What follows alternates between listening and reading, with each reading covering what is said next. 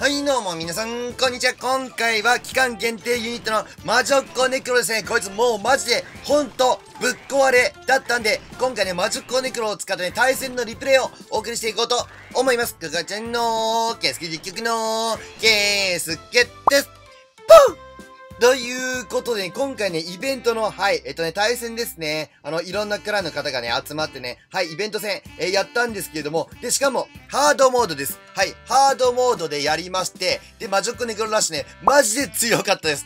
えっ、と、同じカラカラ実況者のジョーカーさんがね、あのー先日ね、もう動画にしてて、で、俺もね、開発ビルドでやったらね、もう、もう、もうどれも、どの配置も一発で取れてたんですよ。で、対戦で、じゃあハードモードだったらどうだろうって思ってやってみたら、本当に全開取れました。あ、ただね、事故ったりとかもあったんで、事故ったね、リプレイとかもお送りしていこうと思います。えー、なので、カラカラ動画ほぼ毎日投稿しておりますんで、まあ、チャンネル登録してないよーって方がいましたら、ぜひともチャンネル登録、よろしくお願いいたします。で、あとはね、今年の目標は登録者11万人なので、まだと登録してない方、ぜひともチャンネル登録、よろしくお願いいたします。ということで、早速、魔女っ子ネクロラッシュ、マジでぶっ壊りだったんで、そちらをお送りしていきましょうレッツゴー課金される際は、右下の歯車マークから詳細設定、クリエイターを支援で、クリエイターコード、ケイスケの入力をよろしくお願いいたします。はい。えー、それでは前回取れたリプレイね、えー見ていこうと思います。あ、ちなみにね、あの、ジョーカーさんも今回ね、イベント戦で、はい、えっと、参加しておりまして、で、ジョーカーさんもね、前回1個と事故1個ね、あったんで、そっちの方もちょっとお見せしてって、注意点とかもね、話していけたらなっていうふうに思います。で、ハードモードですね。で、えー、進み方としては、まあ、魔女っ子ネクロね、ビズトをね、こう、えー、マジックネクロで余計なちょっと水とね、はい、先に1体ずつ出してね、掘っていってあげます。で、他の、はい、なんか、えっ、と、まあ、無理して壊さなくてもいいんですけど、あのーまあ、他の水ともにヒーローで壊していってあげて、で、あとは、6時からね、マジョックネクロラッシュをやっていくっていう、えー、進み方になります。今回はね。で、こうやってね、はい、水塔がなくなったんで、あとは、まあ、壊したいモノリスとかがある方向からね、マジョックネクロラッシュ、やっていきます。はい、こんな感じで出していきます。で、ウォーデン足していきます。で、カラン突撃艦ストライカー。で、ドームを当てていってあげると。で、えーと、ここからね、あの、防衛援軍が、これ、アイスゴーレムだったら無視できるんですけど、あ、えっと、ドラゴンか。うん。あの、アイスゴーレムアーチャーとかの組み合わせだったら、まあ無視していいんですけど、ドラゴンが、あの、出てきたんで、すかさずね、ロイヤルチャンピオン、はい、えっと、足していきました。で、えーとね、どんどんどんどんね、あの、クローンとか落としてったりとか、レイジャー落としてってあげて、はい、えー、どんどん壊していきます。で、ちょっとマジョックネクロ減ってきたなって思ってきたらね、あの、クローンを落としてってあげるみたいな感じです。もう、アチャクイとかこれもう無視しちゃってますからね。こっちのアチャクイ。はい、無視しちゃっていってあげて、どんどん、はい、マジックネクロラッシュ、やっていくよと、いった感じで、本当に去年のハロウィンイベントのラバルーンの再来に近いかもしれないですね。笑っちゃいましたもん、本当やってて。え、強くね、本当出して、本当出すだけでいいじゃんって思いましたもんね。で、あとはもう、アチャクイだけになったんで、はい、マジックネクロが全然生き残って、こんな感じで回収できるよねっていう、うん、積み方になってます。いや、もうね、これがね、去年のハロウィンイベントぐらいの、あの、環境だったら、もう、やばすぎだろって言えたんですけど、今、前回、ね、環境なんで、なんか、ああんまなんかぶっ壊れ感、感じないかもしれないですけど、本当に、まあ、ルートライダーとかドラゴンよりも、全然全開取りやすいなっていう気はしますね。はい、なので、ぜひぜひやってみてください。で、えっと、じゃあ次、ジョーカーさんの、はい、リプレイ見ていきましょうか。ジョーカーさんの方がね、あの、お手本になるかと思いますんで。はい、じゃあそしたらジョーカーさんのアタック、えー見ていこうと思います。まあ、基本的にジョーカーさんのこの編成を、はい、真似してればいいと思います。はい、まずは、えっ、と、これマジョックネクル1体ずつ出してって、水塔をね、ぶっ壊してあげる。あ、ちょっと右側の水塔が、ちょっとテスラとかに座われちゃったんで、1体で壊しきれなかったですね。基本的には1体で壊しきれます。で、ある程度、はい、壊していったら、はい、マジョックネクロラッシュね、やってってあげると。で、移動してる間にダメージも食らうんで、なんかどんどんどんどん、ネクロスピリットが生成されて、で、周りのね、なんか通ってるだけでなんか壊れてますね。はい、どんどんね、ぶっ壊してってくれるっていう感じです。はい。で、えー、タウンホールは、えっ、と、突撃艦イエティですね。突撃艦イエティで、あ、これちょっと落としきれてない、タウンホール。あれこれ前回取れたっけ？取れてないリプレイだっけ？いや、取れてたはずですけどね。はい。なんかちょっとタウンホールだけ残ってしまいましたが、まあもうこの段階で、はい、えっと、防衛室がほとんどないんですよ。あ、マジックネクロなんか、いたいたいたいた。で、はい、あー、マジックネクロまだいたな。まだいてモノリスもね、追ってってあげて、なんか、なんかちょっとタウンホールだけ残ってしまってます。タウンホールだけ。これどうやってタウンホール落とすんだ？あ、まあ、とりあえずロイちゃんが向かうか。ロイちゃんが向かってタウンホールはね、はい、削っていけるよねと。で、この段階で防衛室が、もう、ほぼないんで、イーグル砲とか長弾大砲とか一応残ってるんですけど、もう、もう大丈夫ですよね、これ。もう大丈夫ですよ、ここまで来たら。はい、えー、ババキンも能力残ってる。といった感じで、あとはもうボバキン、はい、能力発動してスパイクボール飛ばしていっちゃえば、はい、全開できるよねっていう、うん、感じですね。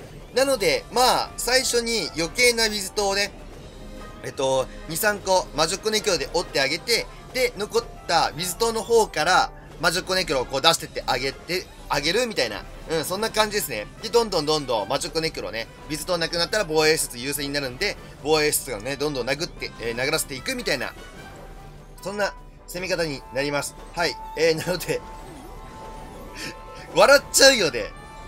これさ、8月31日まであの、使えますからね。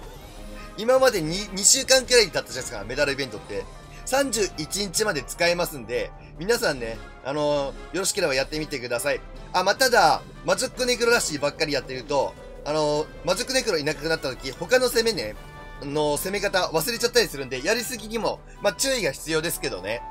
はい、じゃあ失敗パターン見ていきましょうか。これ失敗パターンとしては、最初に出したババキン間違って5タップで即能力発動しちゃったっていうのと、あと、ウォーデンが確かにこれ地上モードだったんですよね。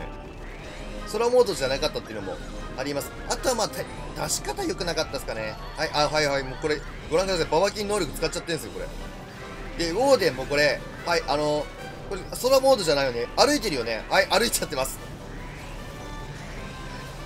それも要因かな。あ、あと失敗の言えそうだ。あの、あれです。突撃艦がこれ途中で落ちちゃうんだ。タウンホールまで届かせたかったのに。はい、あの、途中で落ちちゃいます。はい、いろいろありましたね、失敗要因。はい。いろいろ失敗要因があってね、これね、取り逃します。ただ、えっと、破壊率90何パーセントとかだったんで、これ今、ハードモードなんで、ハードモードじゃなかったら、多分いけてたと思います。いけてたと思いますね。いけ、いけてた可能性があ、あ、あったと思います。はい。えー、なので、ちょっとそこが惜しかったなっていう感じですね。まあ、基本的に、ね、防衛室優先攻撃目標なんで、マジョッコネクロは、水戸がなくなった後はね、あの、相手のアチャクイとかロイチャー対処できなかったりとか、あと防衛軍にスパドラとかいい対策になりそうですね。スパドラとかドラゴンが入っているとちょっと処理がしづらいっていうのもありますね。うん、それで結構全開逃したりします。はい。なのでこれもね、あせっかくマジックミラーレベルマックスにしてさ、攻めたんですけど、ギリギリ全開ならずでしたね。92%?3%? あー、4%か。はい。なので、ハードモードじゃなかったら、これね、あの、全開できてた可能性あると思います。はい。じゃあ続いて、ジョーカーさんも、の、えっ、ー、と、全開できなかったリプレイ。えー、見ていこうと思います。やっぱり上手い人のね、あの失敗リプレイとかもやっぱ勉強になりますんで、見ていこうと思います。さあ、しっかりと水塔は、はい、展開して、あの、壊してってますよね、マジョックネクロで。で、こっちの水塔を残してるから、こっちから出すかな。こっちの水とか出そう。ああ、やっぱそうですね。こっちから出しますよね。で、クローン2つ、はい、打ってってあげて、ストライカー出してからの頭部ですね。で、相手のアチクイを処理していきます。で、からのからの、あ、これマジョックネクロが、あ、ここ残ってんのか。ここ残ってるから、なんか、ちょっと壊したいところ行かずにっていう感じ。なんか少しちょっと逸れてますよね。で、で、はいはい、こうやって魔女ネクロいろいろ散ってるんですけど、散ってるんだけど、なかなか防衛室壊しきれていない。壊しきれていない。イーグロとかも壊したいですね。さあ、で、これでもう魔女ネクロほぼいないですね。はい、もう、ほぼいなくなる。このクロスも、あれ、魔女ネクロしかいない。え、あとは、あ、でもなんかいけそうですけどね。これいけなかったんだ。なんでだ？はいはいはい。あ、アイスゴーレムが、いい感じに残ってますね。どう？いや、でもいけそうだけどな、これ。ロイちゃんも残ってんもんね。え、ジョーカーさん、こっから、え、なんで、なんかいけそうだったけどな。はい、アチャクイが、あ、アチャクイが、あれだ。なんか、ず、ずっと変なとこ殴ってる壁。あ、これ惜しいっすね。これは惜しい。これマジ惜しい。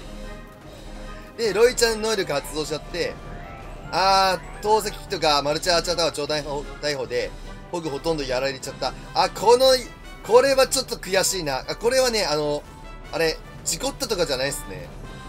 あの、あれ、あちゃ、あち食いの挙動がおかしい。完全におかしかった。あち食いは、あ、マジックね、みんな15にしてる。15はね、多分、ダウンホール16での15ね、あんま強くないと思う。そう、18になってようやくあち食い2体出るんで、いや、そうだ、装備もね、これやっぱちゃんと育ってる装備だったらいけてましたね。これヒーラー人形、人形とかだったらジョーカーさんこれいけてましたね。あ、惜しいな、これ。いや、勉強になる。あちくい変なとこ殴ってるしな。これ良くなかったですね。いや、まあ、これは実質全開です。これ全開、実質。あちくいが変なとこ殴ってたせい。ケイスケ実況局では、ただいま、クランメンバーを募集しております。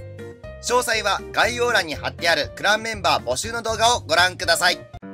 そんな感じで今回はですね、えー、期間限定ユニットマジョッコネクロですね。もうラバルーンの再来と言ってもいいほどの、はい、ぶっ壊れだよっていう、そんな動画お送りしていきました。はい、なのでね、皆さんね、あのー、せっかくのアニメシーズンなんで、あのぜひぜひ使ってみてください。イベントとかでもね、あの、水と壊すと、ポイント貯まりますんで、マジョッコネクロね、ほんとうってつけだなって思います。